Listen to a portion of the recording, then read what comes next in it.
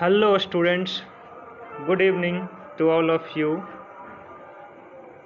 आप जुड़ चुके हैं हमारे चैनल से। और आज मॉलिकुलर बेसिस ऑफ़ इनहेरिटेंस का फिफ्थ क्लास है। तो मैं थोड़ा देर वेट कर लेता हूँ कि कुछ लोग और आकर के जुड़ जाएँगे।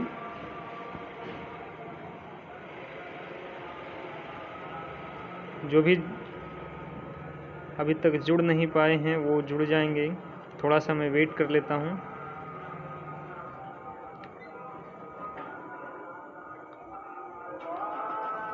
और जो लोग अभी जुड़ चुके हैं, वो इसे शेयर कर दे ताकि जो अभी तक नहीं यहाँ जुड़ पाए हैं, वो पहुँच जाएँ। ठीक है। आज हम लोग क्या पढ़ने वाले हैं? आप लोग को मैंने पिछले क्लास में भी बता दिया था कि आज हम फ्रैंकल और कॉन्ट्रैक्ट का एक्सपेरिमेंट पढ़ने वाले हैं। फ्रैंकल और कॉन्ट्रैक्ट का एक्सपेरिमेंट इसके पहले हमने ग्रिफिथ का प्रयोग और ग्रिफिथ के प्रयोग के बाद एवरे मैक्लियोड और मैकार्टी का प्रयोग और हर्से और चेज का प्रयोग हम लोग पढ़ चुके थे। आज हम लोग उसके आगे का प्रयोग पढ़ेंगे, जिसका नाम है फ्रैंकल और कॉन्ड्रेट का प्रयोग।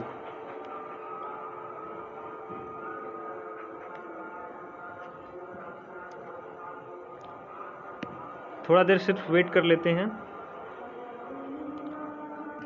जो लोग जुड़ चुके हैं, कमेंट बॉक्स में या चैट बॉक्स में ज़रूर।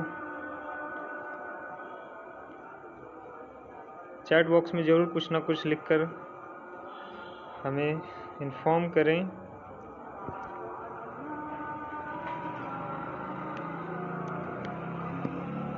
तो आज का प्रयोग काफ़ी इंटरेस्टिंग है। आज के प्रयोग में हम जानेंगे कि आरएनए भी जेनेटिक मटेरियल की तरह कार्य करता है और आरएनए जेनेटिक मटेरियल की तरह कैसे काम करता है, ये हम लोग इस वीडियो में जानेंगे।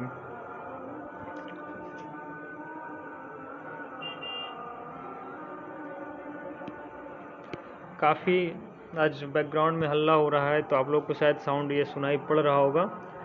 लेकिन कोई बात नहीं, मेरी आवाज़ आप लोग के पास अच्छे तरीके से सुनाई पड़ रहे होंगे, मुझे ऐसा लगता है।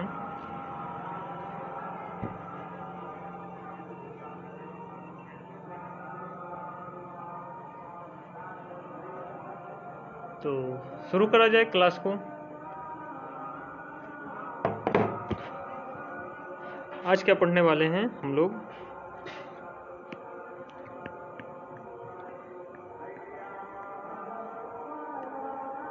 फ्रैंकल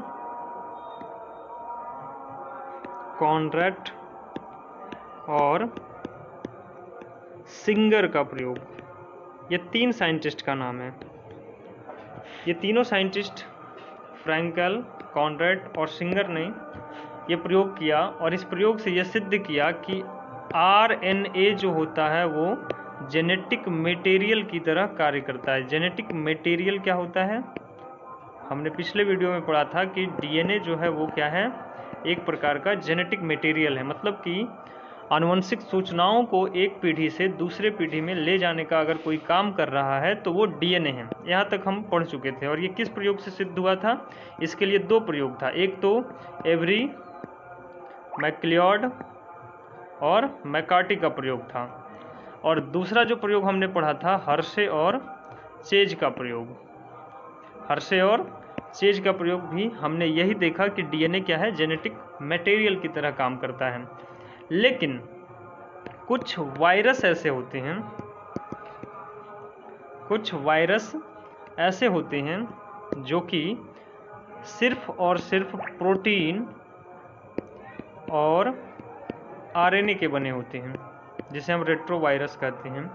तो जो वायरस आरएनए और प्रोटीन का बना है मतलब कि जिसमें डीएनए है ही नहीं, उसमें जेनेटिक मटेरियल क्या होगा? तो जिसमें जेनेटिक, जिसमें डीएनए नहीं होता है, उसका जेनेटिक मटेरियल आरएनए होता है। जिसमें डीएनए नहीं होता है, उसका जेनेटिक मटेरियल क्या है? आरएनए है। तो ये आरएनए जेनेटिक मटेरियल है, इसको कैसे सिद्ध किया गया? ये फ्रैंकल कॉन्ड्रैट और सिंगर ने बताया था। तो शुरू करते हैं। प्रयोग क्या था? प्रयोग उसने क्या किया कि इसके लिए टी एम भी को चुना। मैं कलर चेंज कर लेता हूँ। किसको चुना? टी एम भी को चुना। टी एम भी क्या है? टोबैको मोजैक वायरस ये टी एम भी के कई स्ट्रेन होते हैं अलग अलग प्रकार के स्ट्रेन होते हैं। तो टी एम भी का दो स्ट्रेन को चुना। एक को कहा ए स्ट्रेन और दूसरे को कहा स्ट्रेन बी ये क्या हो गया? अलग अलग स्ट्रेन हो गया। ये क्या हो गया? अलग अलग स्ट्रेन हो गया।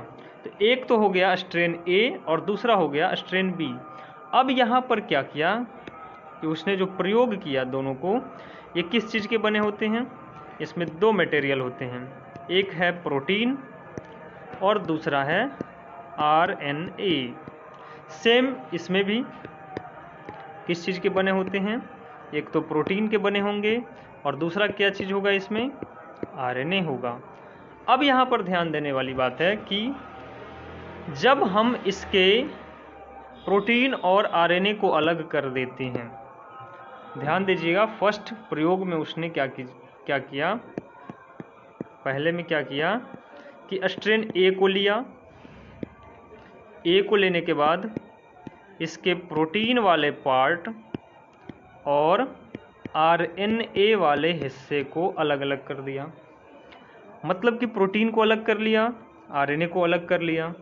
अब सिर्फ़ प्रोटीन कोई एक्टिविटी प्रदर्शित नहीं करेगा क्योंकि सिर्फ़ प्रोटीन जो है वो एक क्रिस्टल के रूप में मिल गया। दूसरा जो है आरएनए जब आरएनए को इस ए स्ट्रेन से अलग कर लिया गया तब भी इसमें कोई एक्टिविटी नहीं था। मतलब इसमें वायरस जैसा कोई प्रॉपर्टी नहीं था। लेकिन फिर से क्या किया? अगले स्टेप में क्या किया? कि ए स्ट्रेन के जो प्रोटीन और आरएनए को अलग किया था, इन दोनों को फिर से एक में मिला दिया। दोनों को इंटीग्रेट कर दिया। और ऐसा करने से क्या हुआ कि फिर से टीएम भी मिल गया। मतलब टीएम भी कि ए स्ट्रेन को प्रोटीन और आरएनए को अलग किया और फिर दोनों को मिलाया तो फिर से हमें क्या मिला? फिर से हमें टीएम भी मिल गया। और इसका जो प्रॉपर्टी था, इसका जो गुण था टीएमबी का, वो ए स्ट्रेन जैसा था। कैसा था? ए स्ट्रेन जैसा। मतलब क्या है कि जिसका हम प्रोटीन लेंगे, जिसका आरएनए लेंगे, उन दोनों को मिलाएँगे। दोनों ए से ही लिया गया था। फिर दोनों को मिलाया तो ए स्ट्रेन ही प्राप्त हुआ लास्ट में। यह हुआ प्रयोग का पहला चरण। अब दूसरा चरण क्या कहता है? दूसरे चरण में क्या किया कि स्ट्रेन बी को लिया। बी को भी क्या किया? इसके प्रोटीन वाले हिस्से को अलग कर लिया और आरएनए वाले हिस्से को अलग कर लिया और फिर दोनों को आपस में इंटीग्रेट कर दिया। दोनों को फिर से जोड़ दिया।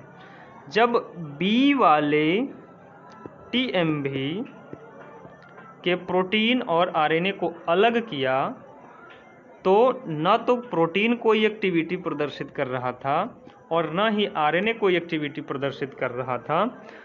लेकिन जब दोनों को फिर से आपस में इंटीग्रेट कर दिया गया तो हमें क्या मिलता है? भी मिलता है। अब यहाँ देखने वाली बात है कि ये जो टी एम भी मिला, इसमें कौन सी प्रॉपर्टी है? तो ये बी गुण वाला था मतलब बी स्ट्रेन इसमें था। ये ध्यान देने वाली बात है। मतलब प्रोटीन भी बी का था आरएनए भी बी स्ट्रेन का था टीएमवी का था, और दोनों को मिलाया तो बी स्ट्रेन ही प्राप्त हुआ। यहाँ तक तो सब कुछ ठीक है। अब क्या किया? इन दोनों प्रयोग को करने के बाद एक तीसरा प्रयोग भी किया। अच्छा अब तीसरा प्रयोग क्या किया कि दोनों को हाइब्रिड बनाया। हाइब्रिड मतलब समझते हैं कि प्रोटीन बी का लिया आरएनए ए का लिया या फिर आरएनए ए का लिया प्रोटीन का बी बी का लिया। इस प्रकार से मतलब अल्टरनेट ढंग से हाइब्रिड करा दिया, जो कि तीसरे स्टेप में किया। तो देखते हैं तीसरे स्टेप में क्या किया। स्टेप क्या है? तीसरा। क्या किया? सबसे पहले तो लिया स्ट्रेन ए, और क्या लिया? Strain B. ये दोनों को ले लिया। और इन दोनों को प्रोटीन और आरएनए में अलग अलग कर दिया। मतलब स्ट्रेन ए का क्या लिया? प्रोटीन लिया। और स्ट्रेन ए का अलग जो दूसरा हिस्सा किया, वो क्या मिला? आर एन ए मिल गया।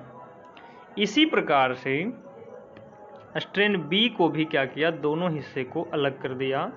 मतलब स्ट्रेन बी में क्या हुआ? प्रोटीन को लिया, अलग कर दिया और आरएनए को भी अलग कर दिया।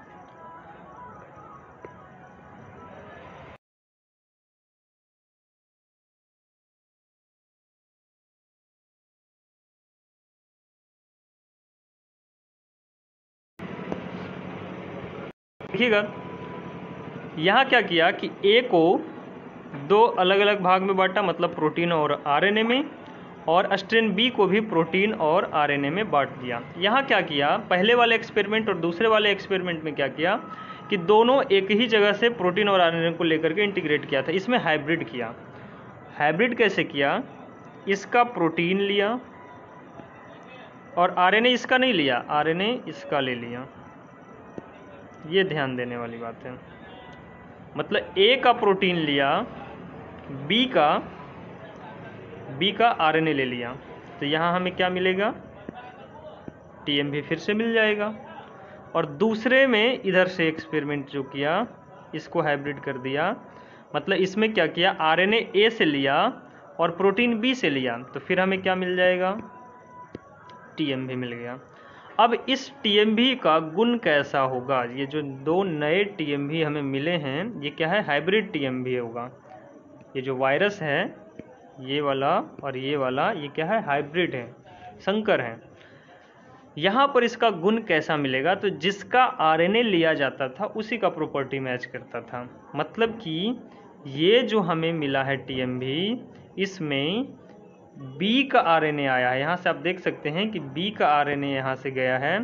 तो इसका जो प्रॉपर्टी था, ये कैसा था? स्ट्रेन बी जैसा था। ठीक है? और इसका जो प्रॉपर्टी था, वो स्ट्रेन ए जैसा था। मतलब जिसका आरएनए लिया गया उसका गुण मिल रहा था, जिसका प्रोटीन लिया, उसका गुण नहीं मिल रहा था। मतलब ये प्रयोग क्या बताता है कि प्रोटीन किसी का भी हो, उससे कोई फ़र्क नहीं पड़ता है। आरएनए जिसका होगा, उसी का गुण होगा।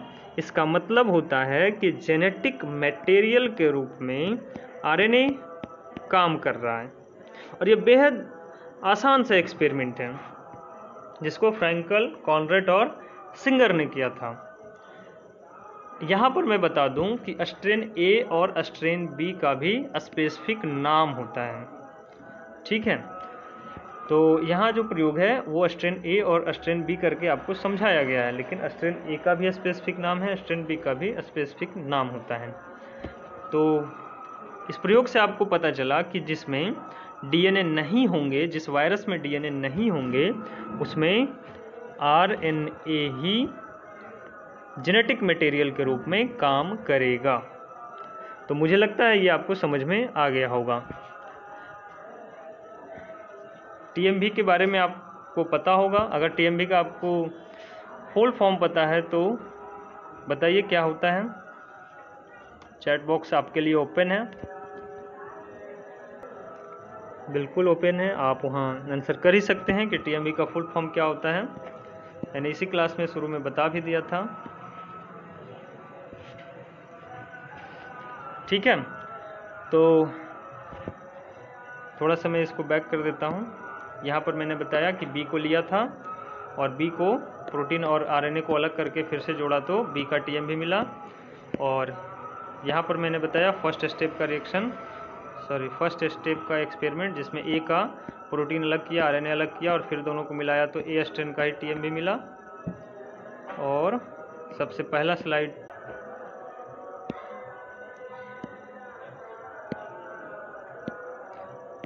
तो क्लास को ऑफ़ किया जाता है। मिलेंगे फिर। हाँ एक चीज़ और रह गया था। मैंने आज एक क्वेश्चन भी आपसे किया था कि बैटेसन और पनेट। आपके साथ मैंने एक क्वेश्चन शेयर किया था कि बैटेसन और पन्नेट ने एक प्रयोग किया था जो मेंडल के स्वतंत्र अपव्यूहन के नियम को फॉलो नहीं करता है और उस प्रयोग के लिए जो पौधे को लिया गया था या जिस पौधे पर प्रयोग किया गया था, मैंने उसका नाम पूछा था, उसका नाम था स्वीट पी। है ना? इसको मीठे मटर कहा जाता है और इसका नाम था साइंटिफिक नेम भी आप बता सकते थे, जिसका नाम था लेथायरस ओडोरेटस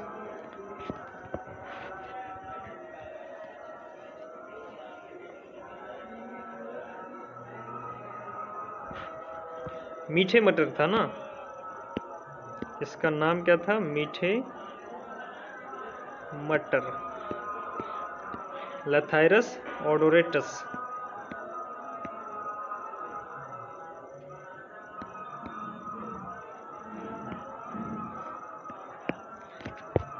तो आप इसको फिर से देख लीजिएगा अपने बुक में। सेम यही नाम है, आप भूल रहे हैं। एक ने आंसर भी दिया है, लेकिन आंसर सही है नहीं। कोई बात नहीं है। आप, मैं फिर से, मैं पर डे एक क्वेश्चन आपसे, आपके सामने रखा करूँगा। आप उसका आंसर कमेंट बॉक्स में, उसी वीडियो के कमेंट बॉक्स में दे दिया कीजिएगा। मैं लास्ट तक देख लूँगा कितने लोग सही कर पा रहे हैं। और आपके पास कोई क्वेश्चन होगा तो डायरेक्टली आप उसी कमेंट बॉक्स में भी पूछ सकते हैं। जैसे भी पूछना होगा पूछ सकते हैं। ठीक है तो? क्लास को ऑफ़ करते हैं। Thank you so much to all of you